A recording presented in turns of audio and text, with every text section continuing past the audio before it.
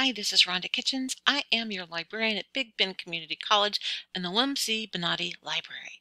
I am here to help you. I love for you to be successful.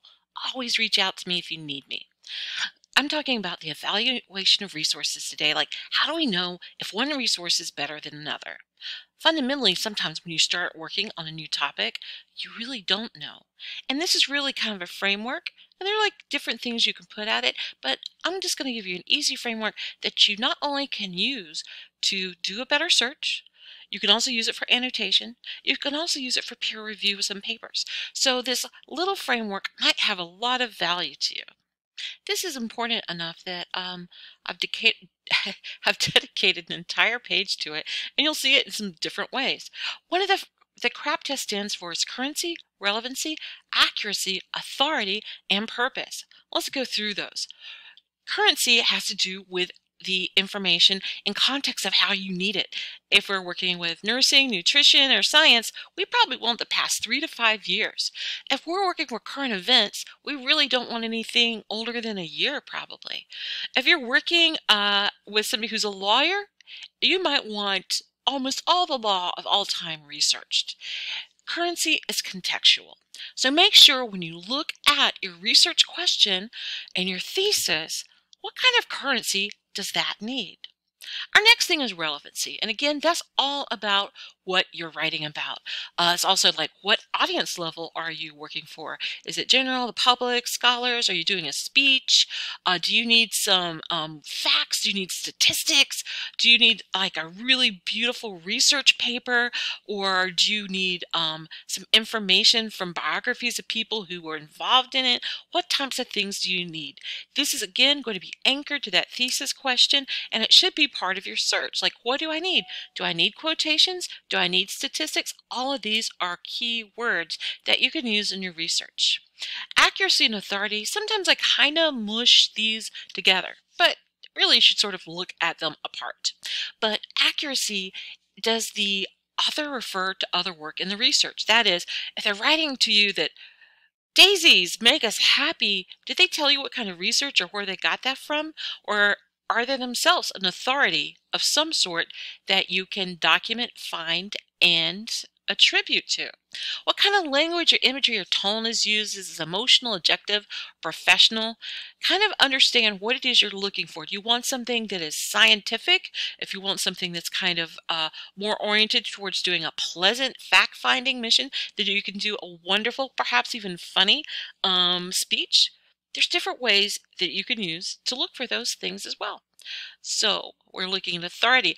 Um, authority sometimes, especially when we're looking at a scholarly article, is really kind of easy to find. We understand who they're connected to and why. We can also understand or find things about their institution. Does their institution that they're connected to have some sort of bias? Are they an expert? And if they are an expert, are they well regarded? There are very different ways that we can find this out, and it's all out there available for you to locate. Purpose. Now, why was it written? What is this information? Why was it created? Was it to inform, teach, entertain, or persuade? Like, for instance, this is totally to inform. I want you to know about this framework of looking at research information in your search results was it written in emotion or are there other points of view? Is there something missing? Is there some sort of bias? Um, kind of look at how the author's affiliation may affect a point of view. And um, in some cases, is bias is just a, your way of looking at things. It's not entirely a negative word. You just need to know what it is. So let's kind of look at this page a little bit more because I break it down so many ways. The CRAAP test evaluation is also a great way to write your annotations or do peer reviews, as well as building your research or your or search strategy. Your search strategy can definitely uh, break things down to certain dates. You can also find the relevance by picking those keywords that are specific to your search. You can find out about the people who've written or created this information, and as you read through it, you can totally figure out why something exists. So, I'm saying you can also use this, use this for annotation in that when you're writing, sometimes um, follow your directions of your professor, of course, but usually the directions uh, probably are 300 words or under, and you could start writing about its currency when it was written, how it's relevant to your particular search, why its accuracy and the authority of those people who put it together, and the purpose and what it is. That will give you a beautiful annotation. And you can also, when you're doing peer reviews, look at your uh, fellow class goers' um, references. Are they up to date? Are they the best they can do? Are they actually relevant? And you can really help them down a far better research path. So again, I just want to show you CRAAP, Currency, Relevancy, Authority, Accuracy, and Purpose. Currency can be used as part of your search when you're building your search strategy. You can use the database to lock down the time frames you need. Relevancy is driven by your problem or thesis statement. When you look at your thesis statement, call out the keywords that are most relevant to your search and then look for their synonyms and other ways of finding them. Also, and this is inside information, how your assignment lets you know what's relevant. It does. Sometimes what's relevant is how you are graded. Actually, much of the time. So if you look at your rubric or your assignment, it goes, I want an academic article, I want primary materials or secondary resources. This gives you a clue about what you should be looking for in your research. I'm just going to give you a little taste of what that may look like. Suppose your research has to do with finding the dietary supplements that are nutritionally correct for diabetes. So when you go up here, your relevancy determines what sort of keywords you use and how you use them. This may be a little bit too specific, but I'm going to go in this direction anyway. Another thing may be uh, that's relevant is full text. What you see is what you get. And it may be in the rubric or the assignment, you need at least one scholarly peer-reviewed article. So this is how you're setting up your search to fit, pre-fit the evaluation criteria that you already know that you need. When you go into the search, then you can look at different types of things. This is talking about um, pregnant women specifically. That may or may not be one of the points that you're using.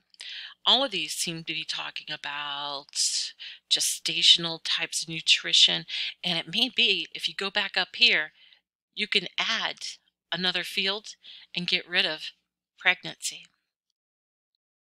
And I'm going to use truncation. So we'll get rid of that. Whoops. It's over the 8. So that might make it too small. But we'll see. Ah, and it got rid of those. And I may also add the word gestational, but you get the kind of idea. You use what you're looking for to make it relevant. You also use this to make sure that it's current. Do you need the past year? Is this a current thing that you need to work on. Right now, um, unless you're looking at the history of COVID, you probably want to use things that are really up to date in the past few months. So make sure that you're looking at things like that.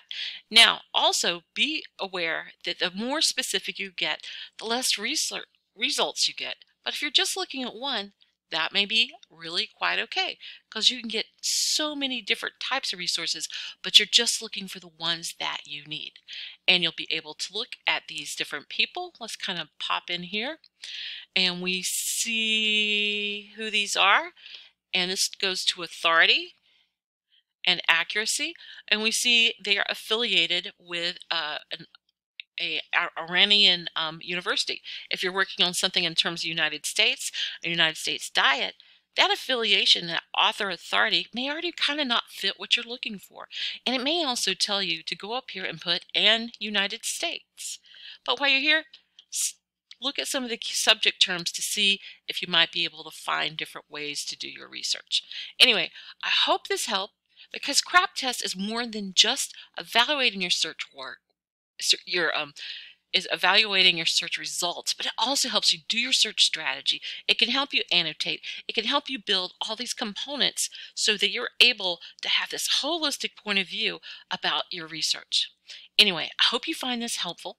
And if not, track me down. My name is Rhonda Kitchens. I would love to talk to you and help you out as a librarian. Have a great day.